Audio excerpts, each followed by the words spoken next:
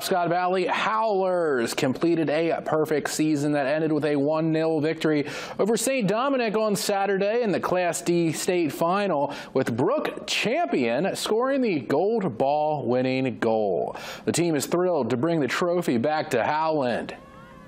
Oh, it was a dream come true. If I'm honest, I thought Riley kicked it in. We worked our butts off. We earned it. It feels pretty good. I know that it's definitely something special that we'll be able to hold on to for a long time, and it'll definitely like keep us as the girls together for a while. It's definitely special. We've always had that like edge to do it, and I mean, coming from my freshman year, we were COVID champs. My sophomore year, we were runners-up in regionals, and then last year we were runners-up in states. So I mean, it was just like a progression sort of thing. Like we always wanted it, and then this year we finally got it.